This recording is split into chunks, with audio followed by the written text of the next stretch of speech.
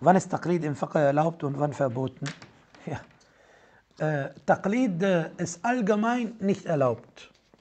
Das wird Taqlid ist Nachmachen und Nachahmen in der Religion. Und Taqlid bedeutet, du praktizierst ohne die Beweise zu kennen oder ohne Beweis zu folgen.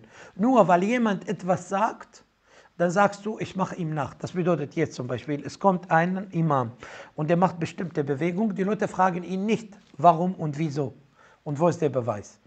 Was er macht und so. Ich meine, es kann sein, dass er äh, äh, seine Beine nach oben äh, streckt während des Gebetes, die machen nach. Jetzt überleg dir, wirst du das für richtig halten als Moslem? Egal was dein Imam macht, dann machst du wie er jeder Muslim wird sagen, halt. Aber es kann sein doch, dass der Imam selber etwas nicht weiß oder Fehler macht oder vergessen hat. Deshalb, Barakallahu fikum, wir müssen nach dem Beweis suchen. Aber wenn wir in bestimmten Themen selber kein Fachwissen haben, dann folgen wir den Gelehrten und den Ulama, die die Religion mit Beweisen erklären und die vertrauenswürdig sind.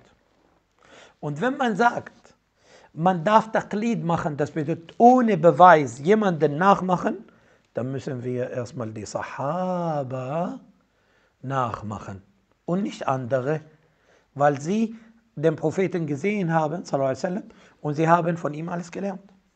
Wallahu ta'ala ala wa ala. Deshalb, äh, zum Beispiel jetzt, ich sage, ein Hadith ist so und so, diese Überlieferung ist schwach. Kannst du wissen, ob das schwach ist oder nicht? Du kannst nicht.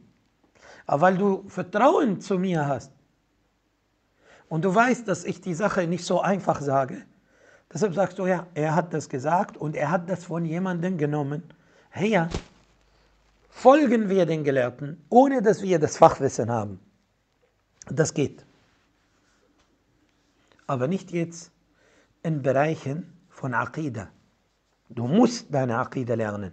In Bereichen von Themen im Islam, die jeder Muslim wissen muss.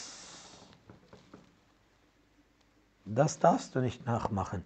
Du musst das lernen.